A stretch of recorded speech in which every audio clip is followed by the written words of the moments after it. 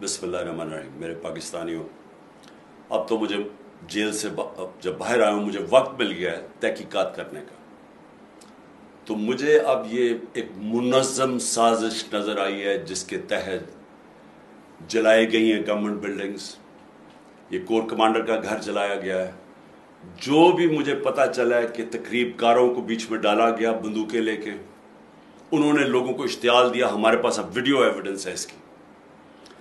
मैं ये चाहता हूँ कि एक इंडिपेंडेंट इंक्वायरी हो। कभी भी जज फैसला नहीं करता जब तक वो दोनों तरफ़ ना सुने।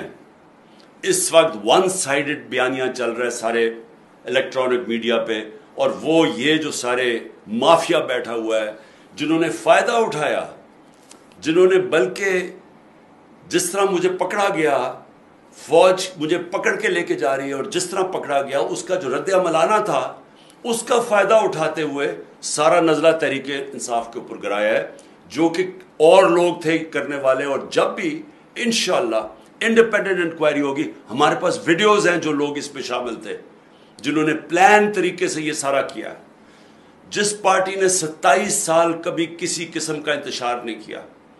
जिस पार्टी ने जब उसके चेयरमैन को गोलियाँ लगती है कत्ल करने के लिए, तब भी हमने तो कोई कोई तोड़फोड़ नहीं की, कोई जलाओ घराव नहीं किया। जबकि मैंने एक इंटेलिजेंस ऑफिसर का नाम भी दिया, तब तो कुछ नहीं हुआ। तो ये अब एकदम क्या हुआ? ये एक प्लान है। प्लान था पहले से लंदन प्लान तहरीक इंसाफ को बैन करना है इमरान खान को जेल में डालना है। इनके लोगों को हरासा करके जेलों में डालना है, खौफ सदा करना है, ताकि कोई निकले ना। ये है प्लान लेकिन जो भी ये कर रहे हैं, आपको ना तारीख का पता है। ना आपको सियासत का पता है, ना आपको पता है कि ईस्ट पाकिस्तान में हुआ क्या, क्योंकि मैं, मुझे याद है क्या हुआ। कैसे यही कोशिश की गई सबसे बड़ी जमात से और मुल्क को तबाही की, मुल्क को तोड़वा दिया गया।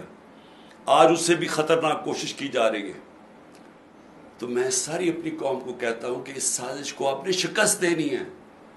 पुरमन एहतजाज करना आपका आईनी हक है।